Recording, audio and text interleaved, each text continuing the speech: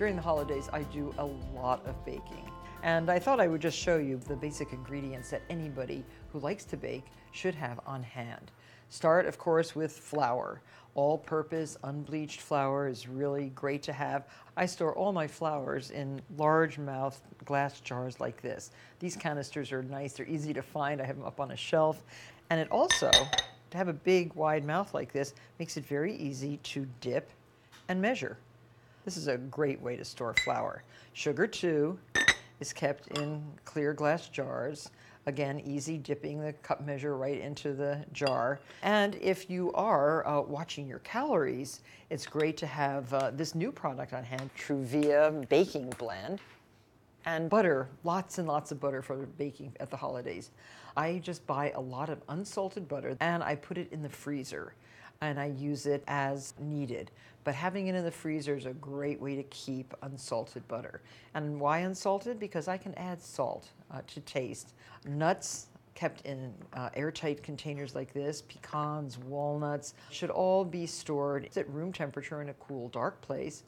Good chocolates, white chocolate, milk chocolate, semi-sweet chocolate. You should have all those different chocolates on hand. I have a drawer in my kitchen that's marked chocolate and we keep all the chocolate right there at room temperature where it stays well wrapped and ready to use. Spices, you know, people get spices and they say, oh, that will last me for years. Well, spices do lose their strength, and you should check every now and then uh, that the spices are fresh enough.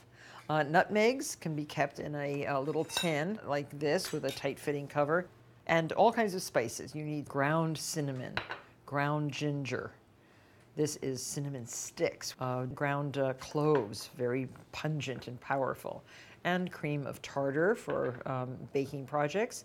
Uh, these are all the kind of Christmassy spices, I call them, that you should have uh, fresh and plentiful in your pantry. Of course, fresh baking powders. Baking powder, too, has an expiration date. Don't think that you can just keep the same old baking powder year after year. You cannot.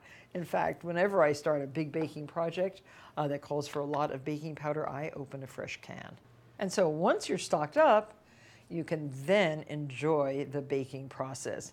And you can make gorgeous coffee cakes like this cake, or cranberry tarts, or gingerbread men.